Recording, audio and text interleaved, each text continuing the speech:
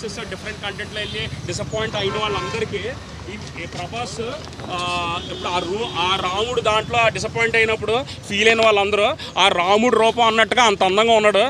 దీంట్లో ప్రభాస్ ఆ స్క్రీన్ పేరు మామూలుగా లేదు.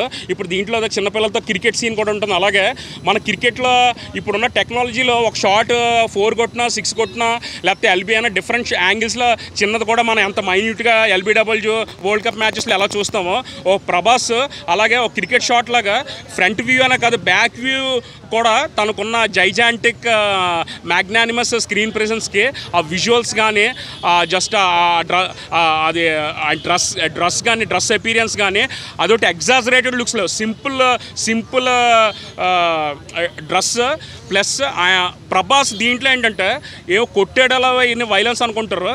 ఆ ఫేషియల్ ఎక్స్ప్రెషన్స్ అక్కడ కంటెంట్ బట్టి in in sync with the context ferociousness అవ్వచ్చు లేకపోతే సటిల్గా మాట్లాడచ్చా మాట్లాడగా అన్నట్టుగా రే నేను నేనైతే ఒకటి చెప్తున్నానండి ప్రభాస్ గురించి మగవాళ్ళు అయితే ఒక్కొక్కడు ఒక్కొక్కళ్ళు రెండు?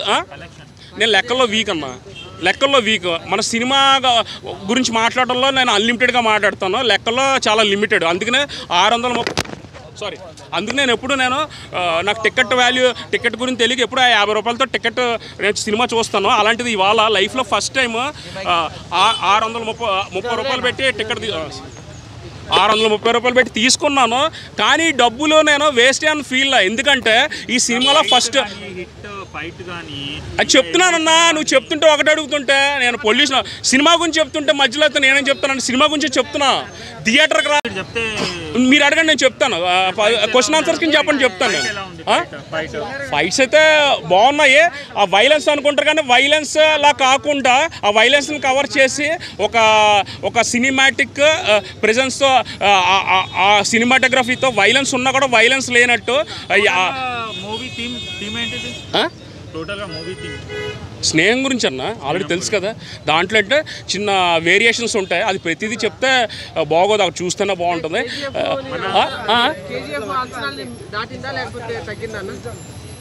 కేజీఎఫ్ అంటే వెరీ ఫస్ట్ టైం నీల్ గారు కేజీఎఫ్తో వచ్చినారు కాబట్టి ఆబ్వియస్లీ బ్యాంగ్ కింద ఇలా వెళ్ళిపోతుంది. ఇది చాలామంది ఇప్పుడు ఫస్ట్ సినిమా చూసాక ఆ కంపారిజన్స్తో కొంచెం టైం ఎక్కువ స్పెండ్ చేస్తారు. మళ్ళీ ఈ సినిమా బయటకు వచ్చాక జగపత్ బాబు గారిది చాలా తక్కువ ఉంది దీంట్లో.